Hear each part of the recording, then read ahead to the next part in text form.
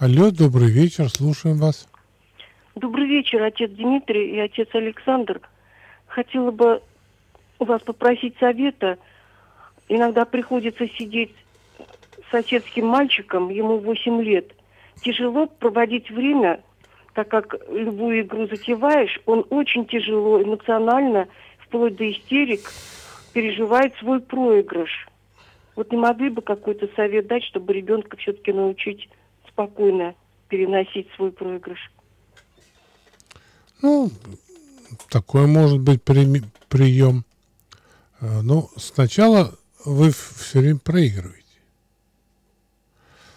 А потом сказать так, ты знаешь, мне проигрывать обидно, давай сделаем так, что когда кто проиграет, тому даем приз.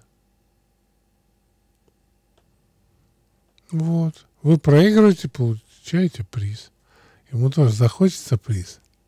Ну, скажет, ты жди, пока проиграешь, тогда получишь приз. И так потихонечку глядишь.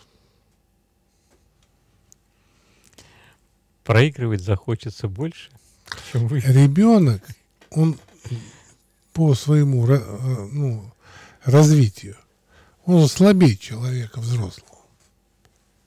Поэтому взрослый человек не должен быть беспомощен перед ребенком. Если уж занимаешься, э, ну, хотя бы фрагментарно воспитанием ребенка, ты должен творчески к этому подходить. Ух, как порой дети бывают сильнее своих родителей. Ну, тогда жди, пусть вырастет то, что вырастет. Так сами говорят, веревки вьет из всех. Папы, мамы. Нет, ну просто все дети вьют э, веревки или желают их видеть. Потому что сами эти веревки и вручают ребенку родители. Ну и дедушки, бабушки.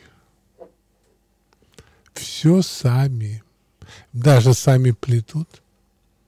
Даже сами пеньку сажают.